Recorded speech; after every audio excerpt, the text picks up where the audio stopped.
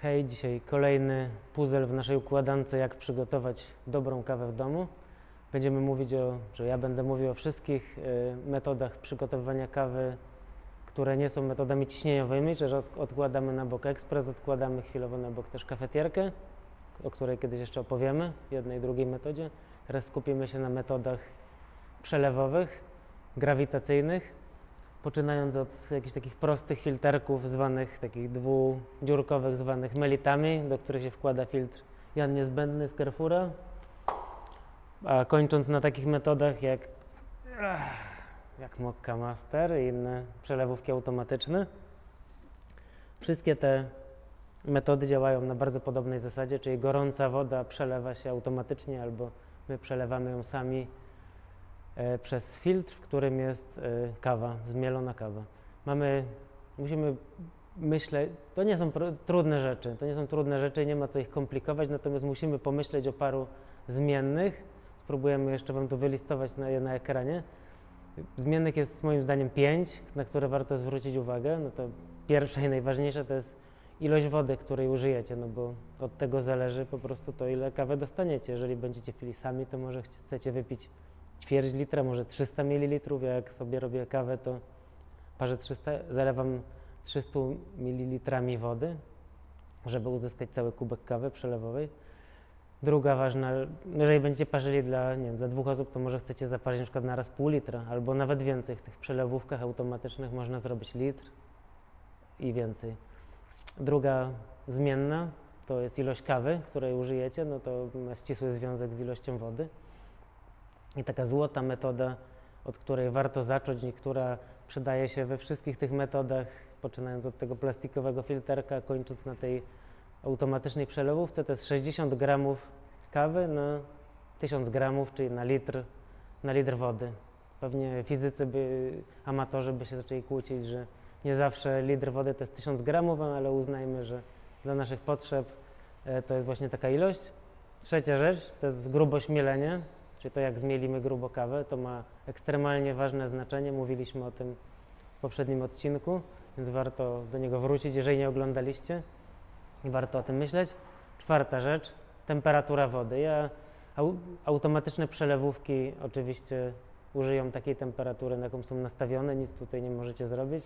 Ja sam używam wody bardzo ciepłej, gorącej, wrzątku w zasadzie prosto z czajnika, więc ta woda ma temperaturę podejrzewam, 95 stopni nawet.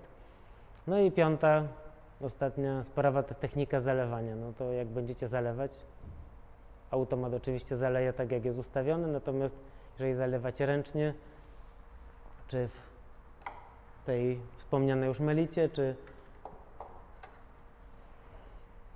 czy w jakimś prostym Hario V60, czy w trochę droższym V60, czy jeszcze droższym V60, którego się nie da stłuc, to jest z metalu i z gumy. Każda z tych metod będzie, e, każda z tych metod wymaga jakiejś metody zalania. To był hałas, sorry. Nawet w Aeropressie, jak robicie kawę, bo to też uznaję za technikę taką alternatywną, przelewową, grawitacyjną. Mimo, że tam się wkłada trochę ciśnienia, no ale umówmy się, że jest to wciąż metoda alternatywna, grawitacyjna, no to tutaj też jakby to, jak zostanie woda zalana, e, w jakich ilościach będziecie dodawać tej wody, czy zamieszacie, czy nie zamieszacie, to wszystko ma znaczenie. E, Będziemy o tym mówić, więc te pięć rzeczy. Ilość wody, czyli ile chce, chcecie po prostu kawy uzyskać. Do tego trzeba dobrać ilość kawy. Zaczynamy od 60 gramów na litr. Grubość mielenia odpowiednia dla metody. Temperatura wody, według mnie nie ma co frikować, bawić się termometrami, po prostu gotujemy wodę i zalewamy chwilę później, no i ta technika zalewania. Na pewno potrzebujecie paru rzeczy, żeby zrobić kawę. Potrzebujecie czajnika, nie, nie musi być taki duży, może być mniejszy. Niektórzy lubią zalewać, zwłaszcza e, te filtry, zale, zalewać z czajników, które mają taki wąski, długi dziubek, bo wtedy można precyzyjniej to zrobić. Ja w domu zalewam normalnie ze zwykłego czajnika. E, potrzebujecie z tych, e, któregoś z tych przyrządów, oczywiście, i filtrów do nich. Czyli to jest druga rzecz po czajniku. No i trzecia rzecz, bez której moim zdaniem nie warto się brać za robienie kawy bo po prostu nie będziecie w stanie złapać powtarzalności, za każdym razem wyjdzie Wam inna. To jest waga. To może być waga Hario, Bonavita czy jakakolwiek inna waga, bardzo droga i wy- wypasiona i przeznaczona do robienia kawy. Może to być waga za trzy dychy ze sklepu, e, ze sklepu ze sprzętem AGD. Może to być waga jeszcze droższa, za pewnie tysiaka i więcej, która jest zgrana z aplikacją i która będzie Wam mówiła, w którym momencie ile dolewać wody. E, Spoko, jeżeli macie ochotę, to czemu nie? No i co? Dobra woda, o której też już mówiliśmy, dobra kawa i e, trzeba zacząć eksperymentować. Będziemy mówić w kolejnych odcinkach, e, będziemy mieli gości, będziemy pokazywać, jak ko- konkretne metody, przy- konkretnymi metodami kawę przygotowywać, ale żeby Was nie zostawić teraz w takim zawieszeniu na dwa tygodnie, jak to robić, co robić, no to moja, moja porada jest tylko taka. Jeżeli robicie jakąkolwiek kawę, zacznijcie od poziomu, który Wam się wydaje, że jest ok i, i jeżeli ta kawa wyjdzie, będzie się bardzo długo parzyła, wyjdzie gorzka, będzie, widzicie, że bardzo wolno wszystko się dzieje, spływa, to znaczy, że mielicie za, za drobno, trzeba mieć grubiej. Jeżeli z kolei przeleci szybko, kawa wyjdzie taka płaska, pusta, kwaśna, niesłodka, znaczy to, że mieliliście za grubo i musicie e, zacząć mielić drobniej. No i tutaj oczywiście możecie zacząć kombinować później z ilością kawy, możecie kombinować oprócz tej grubości mielenia z techniką zalewania, która może bardzo zmienić, zmienić to, jak się kawa zaparzy. Musicie pamiętać o jednym, żeby zawsze jak coś zmieniacie, to zmieniajcie jeden parametr. Że jak wam kawa nie wyjdzie, to nie zróbcie tak, że jednocześnie dacie więcej kawy, drobniej zmielicie i zalejecie szybciej albo będziecie dolewać więcej, bo to wtedy się może wyjdzie dobra, ale nie będziecie w stanie się zorientować, gdzie był problem. Więc zmieniajcie zawsze jeden parametr.